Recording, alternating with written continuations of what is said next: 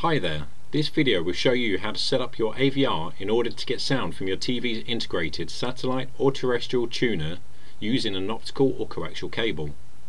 Connect the AVR receiver's HDMI monitor output to the HDMI input of your TV.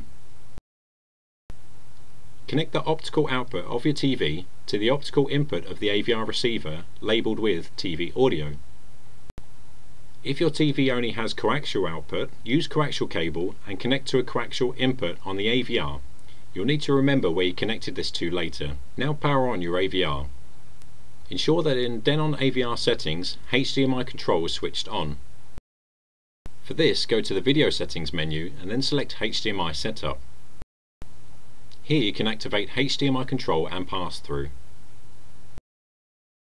Now, Go to the Input Setup Input Assign menu and check the digital coaxial input you connected to earlier is assigned to the TV's audio source. Leave the Setup menu. Then select a TV station with your TV remote. In most cases, the TV will switch the Denon automatically into TV audio mode. Now the sound is coming through your AVR and the AVR volume can even be controlled using the TV remote control. Setup is complete. Let's enjoy.